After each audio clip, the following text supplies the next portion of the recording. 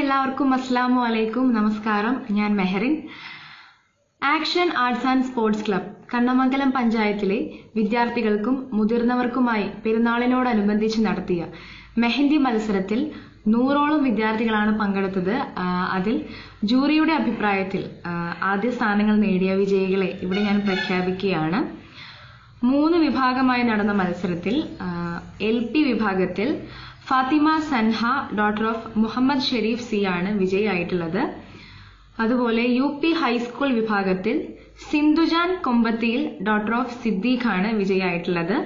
അതുപോലെ തന്നെ പ്ലസ് ടുവിനും മുതിർന്നവർക്കുമായുള്ള വിഭാഗത്തിൽ ഫാത്തിമ റൈഹാന പുള്ളാട്ട് ഡോട്ടർ ഓഫ് ബഷീർ പുള്ളാട്ട് എന്നിവരാണ് വിജയികൾ.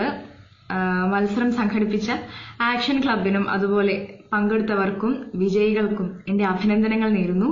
താങ്ക്